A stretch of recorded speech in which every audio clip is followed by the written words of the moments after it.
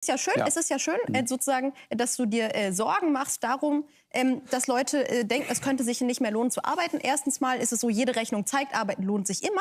Zweitens ist ja wunderbar, dann können wir eine Minimal Allianz für bessere Minimal Löhne. mehr. Dann können wir eine Allianz bilden für einen höheren Mindestlohn, dann können wir eine Allianz bilden für breitere Tarifbindung, damit diejenigen, die arbeiten, mehr Geld Okay. verdienen Das und Problem äh, in ist halt Würde nur, du leben kannst, du kannst nicht auf Dauer ähm, den politischen oder du kannst nicht auf Dauer einen Arbeitslohn in der Parteizentrale festsetzen. Das funktioniert einfach nicht. Also ich würde auch gerne Ja, so deswegen Politik ich, naja, machen. naja, würd Tarifbindung auch- stärken kann man schon Ja, gesetzlich machen.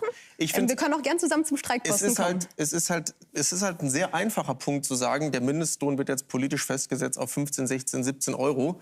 Ähm, ich finde, da macht ihr es euch einfach zu einfach. Äh, Du brauchst Rahmenbedingungen für eine erfolgreiche Wirtschaft, ähm, die Produktivität steigen kann, die die Leute auch arbeiten lässt in ihren Unternehmen. Ähm, und das ist momentan einfach ein Riesenproblem in Deutschland. Ich glaube, wir haben alle noch nicht wirklich begriffen, in was für einem Wettbewerb wir stehen und vor allen Dingen, in dem unsere Generation stehen wird. Wenn man mal nach Asien schaut, wie sich Länder da entwickeln, ich rede gar nicht mehr von China, das ist, ein, ist jetzt schon mittlerweile ein altes Thema, aber wie Ja, sich aber die Indien als. Volkswirtschaft entwickelt. Und ich habe manchmal so ein bisschen das Gefühl, wir reden so, ja, wer will wie viel arbeiten, ein bisschen weniger und Bürgergeld verdoppeln. Okay, kann man alles machen.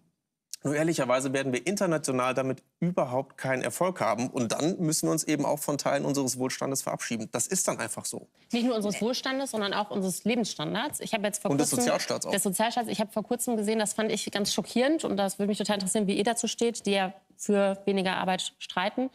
Ähm, dass zum Beispiel in einer Schule in Nordrhein-Westfalen inzwischen in der Schule eine Viertagewoche eingeführt werden soll, weil es nicht mehr genug Lehrer gibt, um die Schüler zu beschulen.